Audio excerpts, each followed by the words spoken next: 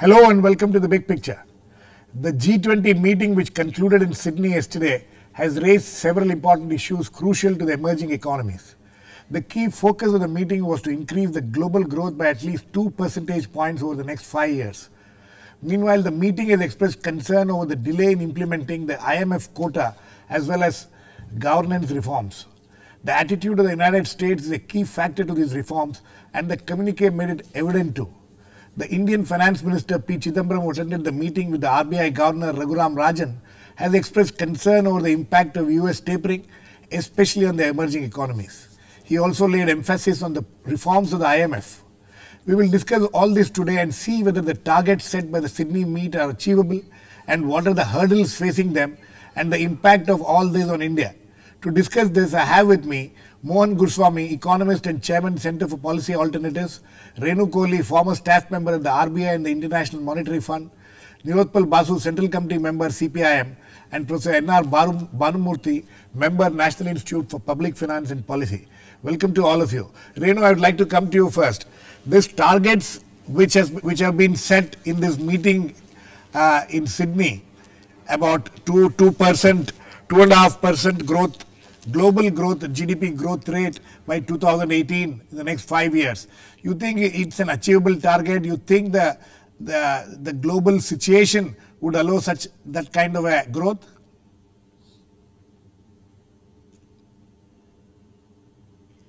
Yeah, these targets are conditioned upon a set of uh, structural reforms that the IMF has advocated. Um, IMF's own projections for uh, this year and the next year are 3.8 and to 3.9 percent of global growth. Now, what happens is that uh, the reforms range from you know fiscal uh, fiscal consolidation down to you know supply side reforms, and uh, each country has to decide for itself. Some of the reforms countries are doing anyway. For example, fiscal consolidation. Right. India is already undertaking that. But supply side reforms are quite difficult, and uh, no country, even though they may commit to them as a group, it remains to be seen whether it will be done. Regardless of that, still, the uh, percentage point gain that the IMF's projections show from 3.8 to 3.9 this year, if you add 0.5% each year, it lifts up global growth to about 4.2 um, or 3 percent, uh, percent each year. Um, I'm not very optimistic because supply side reforms are politically difficult all over the world. Okay. Um, Bhanumurthy, do, would you agree with that, that it, it, it's a difficult target which it has set for itself? Uh, we will come to the reforms aspect of it, the IMF aspect of it, but what the, the targets which have been set? Well, uh, this is the first time G20 started uh, fixing, you know, quantitative kind targets. of uh, targets. Um, my view is that, you know, the kind of success G20 had in the past, um, as Renu has rightly pointed out, to bring in some of the structural or supply side reforms uh, within the G20 uh, seems to be, I think, uh, a little more difficult. In fact, in their own terms, it says that it's going to be more ambitious. Yes. But at the same time, the realistic policies would help in They're talking of 0.4 percent uh, growth every year, which, right. which should you know, they should achieve this 2%. Yeah, this is above the base. Yes. The base itself is slightly higher. The IMF projections seems to be base itself is slightly higher than what uh, going to be realistic. So in a sense, 0.4% uh, above the base line is going to, it needs much more policy reforms and it's not going to happen in one year and two years time. So that's why it is going to be for the next five year period, almost to say that it's a planned period kind of situation. Yeah. yeah. Mohan? One, you, how do you see the US role? If you see the communique showed yesterday, there is a lot of emphasis on what the US does, which will have repercussions on them. Interestingly, the IMF uh, IMF managing director says that you know the emerging economies keep uh, complaining about the uh, US and things like that. You should stop complaining. But US will play a key role in this. And are they interested in playing a key role? There are two very different things out here. IMF has an institution. The G7 effectively controls the IMF. Right. So the G7 has an institution. The G20 is not an institution. The G20 is just a forum. Is, you know, is a gathering. It's a gathering which comes twice a year, and goes. It's something new. The G70, G20 accounts for almost 85% of global GDP. Uh, and the G7 is becoming a smaller part of the G20 because in the last five years, what's happened is uh, the number two and number three places in world GDP rankings have gone to countries which are not in the G7, China and India. You know, so these are new factors coming into play out here. So there is a subtle power shift taking place. I think G20 has not institutionalized itself as yet, and after the last G20 meeting in St. Petersburg, I think uh, the Prime Minister, our Prime Minister, who's uh, a well-known economist, as you know, uh, he said that we must institutionalize the G20 Right. and offered to locate a secretariat in Delhi. Right. And very interestingly enough, his Minister for Urban Development rejected it, saying that I don't have place to offer. now, if you had a secretariat in, in Delhi, then you would have begun the institutionalization of G20, which And, where the and, power and, shift should and, have been and developed some kind of a cloud in that. and develop some kind of a cloud and say because you need economists, you need researchers to be working Right. and churning out papers and you know evolving positions.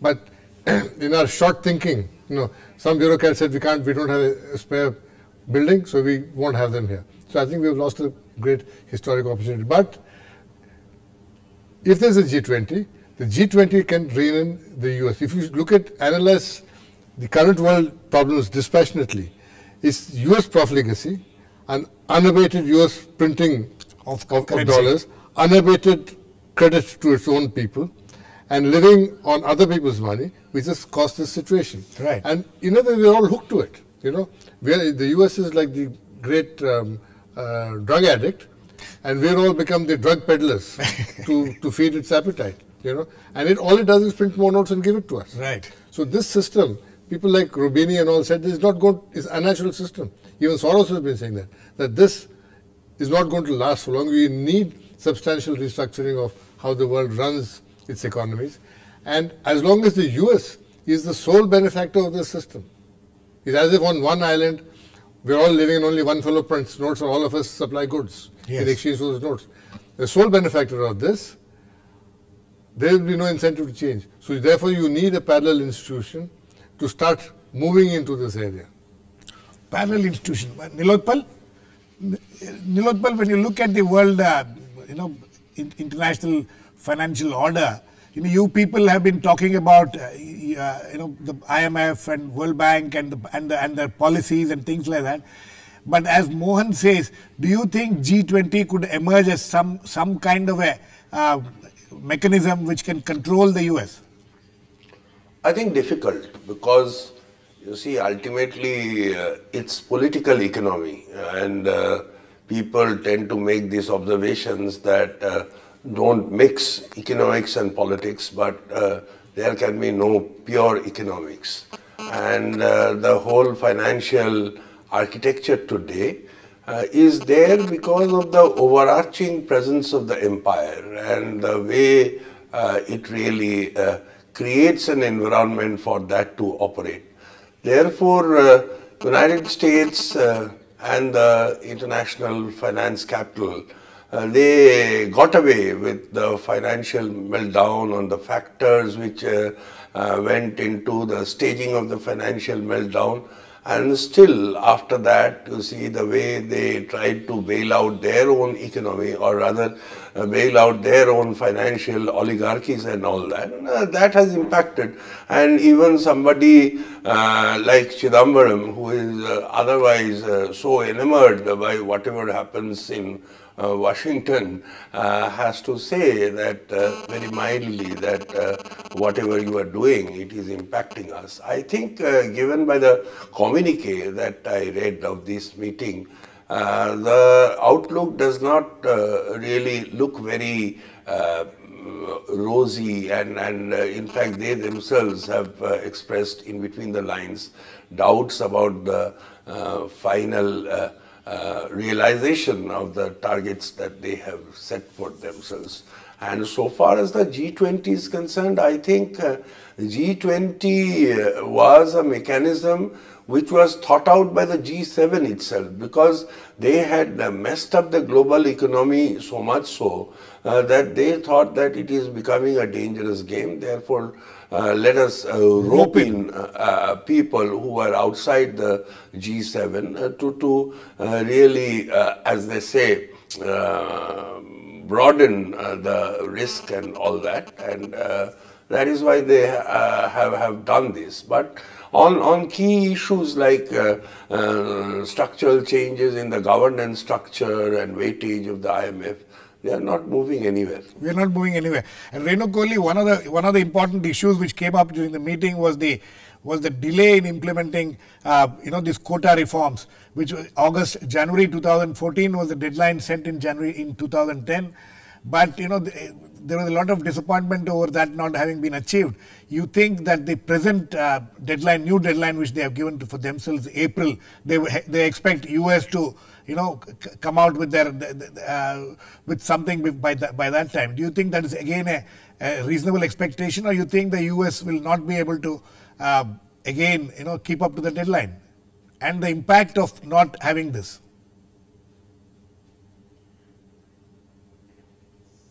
It is uh, very much dependent upon uh, the US Congress uh, clearing it and agreeing to this. Um, in the past two years in the US, uh, domestic politics has been very, very fractious and in fact it affected their own uh, raising of their debt ceilings and so on, affecting their own e economy as well. So, but of late in the last two months, there have been, uh, uh, there has been a move of a more amicable kind of uh, um, uh, um, uh, uh, politics in the US. So let's hope for the best. Um, there isn't much support within the US, I think, or within the Congress for that matter. I have been through some of the Congress, Congress office reports and uh, it is linked to how much uh, funding can be obtained, alternative funding, etc. And uh, it, um, it's very iffy, I would say. Okay. Bhanumurthy? Well, um, how far is it important now that we know this IMF reforms, the quota reforms especially, it's completely dependent on the US now. Right. Right. Right. No, I think uh, this is a continuous process. Um, there's been, I mean, I think the G20 has already taken up this issue, and there could be delay. And we know very well how, if you want to change the international governance system, it takes its own time. But more important uh, for us at the moment from this communique is uh, one is about the growth the kind of policies that you need to really get to that growth, if not close to, I mean, uh, uh, almost close to that growth, at least near to that. Right. But more important is the kind of tax policies exactly. the G20 is really highlighting. I think uh, we need to really concentrate more on those tax mechanism, how, what kind of cooperation uh, there could be among the G20 nations in terms of the tax policies, particularly the transfer pricing policies, yes. which I think more important than, than uh, reforming the IMF, IMF system. And, you know, the, one, one of the things why there is so much talk of reforming this or you know this IMF quota. Disagree with that. Uh, you disagree with that? Okay, Renu, you disagree with that? Yes, uh, because if you see, yes, I strongly disagree. I, which is not to say that tax uh, harmonization across uh, countries isn't important. It is a very important issue, no doubt. Right. But that does not really, I think, uh, undermine or uh, uh place less emphasis on uh, reform of the international uh, financial architecture. And in fact, if we were to see the trace the trajectory or the evolution of G20's coordination in this regard, you can see there is a branching out. The BRICS countries have at some stage have had to, you know, set up their own BRICS bank for development um, um, uh, financing of uh, uh, infrastructure in respective countries. More important than that, at the St. Petersburg summit uh, in uh, November last year, they announced the setting up of a $100 billion bailout fund right. just in order to protect themselves right. from the onslaught of uh, financial market, market volatility. So it is a serious issue and it directly is linked to the problem of uh, the dollar being a reserve currency. Absolutely. Now, the, the issue is somewhat like this. Just as no other country can tell India what to do and how to run its monetary policy, other countries too cannot tell the US as to how it should be running its monetary policy. The problem arises because its currency also happens to be the reserve currency. So you have to find an alternate solution. Now to find an Alter- alternative yes. solution, all countries have to agree. The, originally, the global interest, the watchdog was to be the IMF, but the IMF is cannot guard global interests simply because of its governance structure. So, you know, it's like a chicken and egg problem. You're Right. back to square I- I- one. I- yes, yes, quickly. No, I, before I go. think uh, IMF governance reforms is, uh, I, I'm not saying it's not a priority. Uh, we all under, agreed that G20 cannot deliver on many aspects. We are only looking for a low-hanging fruit, which the G20 can achieve. Can I can achieve? So I think and you that is think the, that this tax avoidance I mechanism think that is the small point I've been trying to say. Okay. Yeah. is one. You know, uh, the uh, Okay. IMF is totally under US control and Europe's control. So, you know, the IMF would never tell the US that your deficits are out of line. No, in Or, you fact, know, in fact, the, in fact, It it's has very never inter- told them. No, no, in fact, it's very interesting that the IMF uh, managing director, uh, she has, But- she has said that emerging economies should not blame the US for their market Yeah, turbulence. yeah, yeah, but you know- and uh, you know.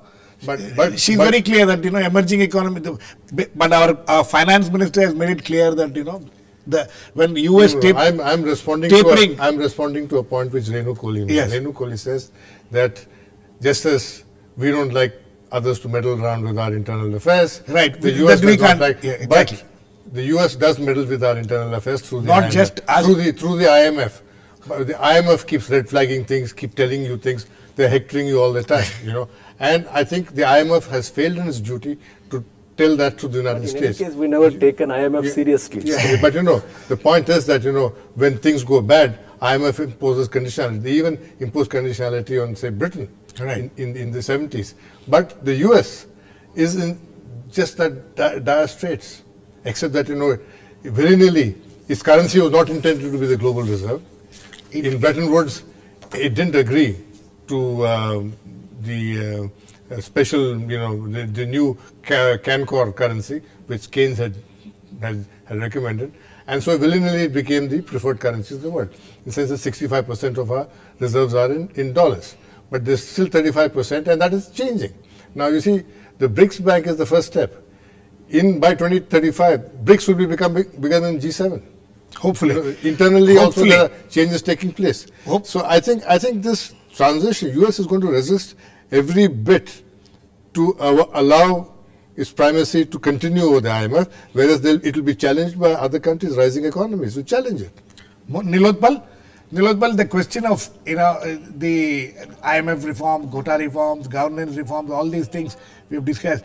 But the issue is that now that uh, the tapering, the U.S. tapering has begun, and the finance minister, though so far India is supposed to have handled it pretty well, and you know it has not got affected as much as other countries have got affected. Still, the finance minister is still very very concerned about the impact of it.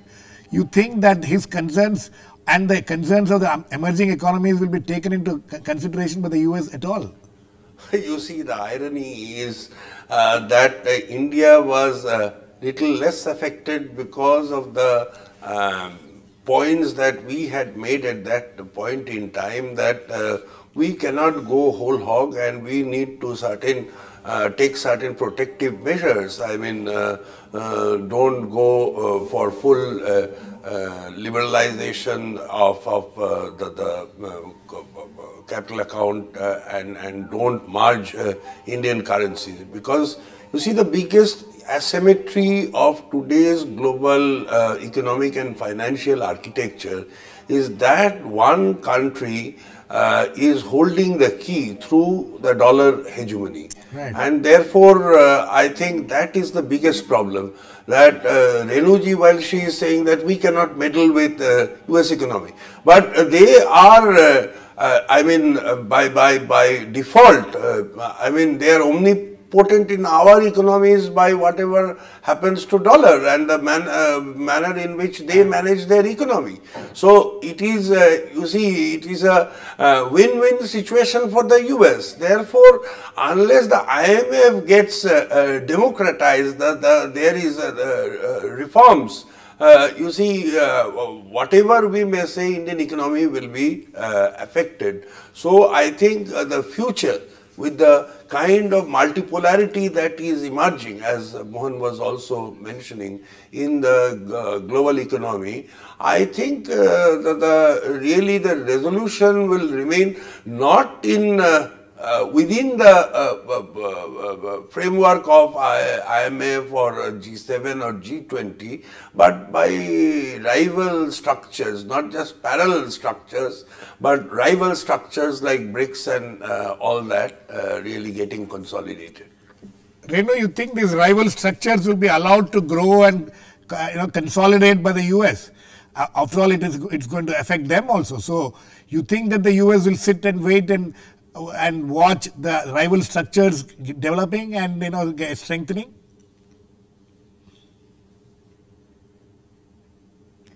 I, I, I don't think uh, it has any choice because you see these structures are very much represent the you know contribution of these countries to global uh, GDP which is about 60% already if I'm not mistaken it is also determined by the usage of their currency. The more they trade, the more their currencies uh, become invoicing uh, currencies. And then financial markets build up upon that, upon trade volumes and trade uh, related transactions.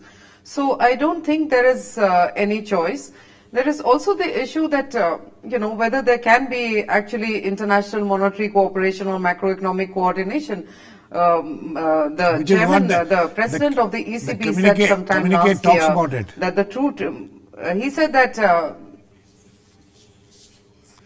it talks about it, but you know. Uh, all, all the leaders are gathered there. It is something which has been brought about, and post-crisis actually, it um, it it helped out a little bit here and there. But I think the true test would be that would any country, as Mario Draghi said last year, that the true test of a coordination is that would any country run a policy that it would not do otherwise in okay. its own national interest. Yes. And I think uh, post 2008 crisis, each country did what it had to, it helped its own country. Absolutely. So that's the true test and we, we, we cannot see that. And uh, even the formation of the BRICS group, it may act as a counterweight to the pact of non-aggression that the developed countries have vis-a-vis -vis, amongst themselves at institutions like the IMF. And in that, to that extent, I think it will be very helpful as a counterweight. Okay. But not otherwise in terms of, you know, just coordinating with each other and all the same factors would play. Okay. I think, I think there's a basic conflict of interest out here. In the short run, we're all interested in stability. Right. Of the markets and everything so that, you know, we can go about our business as we know it. Yes. But we know that this system is unequal and not desirable right. in the long run. So we've got to make this transition without rocking the boat. And as long as the US is there, it will not want, this, want this transition or delay this transition as much as as, as much as possible. And that is something. It, this is not the only transition here. There's a power shift taking place. How long can the P5 remain the P5? You know, directing the world what to do. You know, all these things have to change completely. The international arrangements of power and, and economics have to change. So I think this is a gradual process which has begun. You know, already countries like Brazil and China trade in each other's currencies. Chinese have offered the same arrangement with, with India, that we buy and sell in, in, in, in rupees and, and yuan. Right. Uh, we used to have this with Russia at one time. So I think if many of these countries do direct trade, and as their own trade is rising, hmm. the importance of the US market will diminish. Right now, the US market is very important to us because all of us depend and on that US trade deficit. And it will continue to growth. be important for quite some time to come. Well, maybe the next 10, 15 years, yes. God knows for how long, till there is a crash in the US again, which many people are predicting. Yes. You know, it's so unbalanced and skewed with toxic loans and bad loans. Credit card debt itself goes to about, you know, several hundred billion dollars. Right. So, you know, anytime that could come unraveling down. I think the new bilateral arrangements are taking place might be one way to obviate it. But I think we have to do this over the next few decades, not something like, you know, there is a collapse tomorrow and then day after tomorrow we all sit together on the debris and then start working out a new plan. Uh, Bhanumurthy, the US, you know, the, the concern expressed by the finance minister saying that, you know, this, he said a very interesting thing there. He said that when, when the global crisis happened, financial crisis happened, the IMF, you know, advised the emerging economies that you know, please help us, cooperate with us, and things like that. We did, and then now that when that the economy is slightly showing some recovery, that they should help us. Right. You you think this this um, you know plea or whatever, or would you would like to call it of the finance minister would be heard at all? Yeah, I think if you look at this communique, I think there are some of the concerns that uh, both finance minister expressed, even the secretary DA expressed even before he went to Australia, in terms of looking for some kind of guidance Right. in the U.S. monetary policy. I think they have been addressed. If you look at, there are two C's here. One is that carefully calibrated monetary policy Right. and also clearly communicated monetary policy. I think this is something which they are trying to hit on the US monetary policy and even the Fed chairman has agreed that uh, there would be some kind of uh, information sharing between central bankers before they go for um, monetary policy. I think uh, our RBI governor also said the same thing before you go for any action you keep the emerging market economies in confidence. Right. That will help the markets to, I mean, to maintain some kind of stability. I think if, if you look at the post May 2013, uh, all these decisions, if you look at, uh, did help uh, to some extent uh, not to really destabilize the emerging market financial sectors. Yes, I, I think, quickly. I think the biggest threat the world faces right now is this rapid flows of currency. Huge amounts of currency. Absolutely. Money comes in and goes out. It's sloshing around. And it destabilizes balances, you know. And I think there is time for some institution like the G20 to consider imposition of a Tobin tax, you know. Each time money comes in, you tax it. Each time it goes, you tax it. To slow down this velocity. And many financiers in the world, people like George Soros are recommending this for a long time. But you know, this this merchant bank consensus, you know, all these lounge lizards who sit in five-star hotels, their consensus is that this money should keep Should keep freely- because they make money on the way in and on the way out. you Right. know. And so I think that has to end. Nilotpal, very quickly, last words to you. You think uh, you, think that the, the this U.S. tapering, you know, will uh, will affect us because Chidambaram says that you know there is there's a lot of uh, flight of capital now from the emerging economies. What is the solution to it? Asking, uh, you know, pleading with the United States, is it going to help at all? Uh, it, it, it was bound to happen. You see, if you look at our current account deficit, I mean, uh, the current account deficit has uh, actually mounted because of the liberalization of the uh, credit by Indian private corporates in a very big way. And uh, I think in the budget also, Mr. But- Chidambaram uh, is, is uh, actually not trying to uh, shift the emphasis away. So what Mohan was saying, uh, it was music to my ears Yeah, because this for a change. tax For a change. kind of thing. I mean, you have to you have to step in to really uh, uh, monitor and, and regulate the, the hot money flow. Okay, I think on that note we need to end.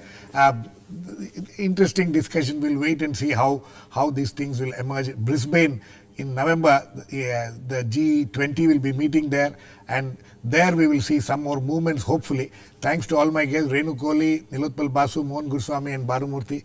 Please keep watching. We'll come back with another issue in Big Picture same time tomorrow.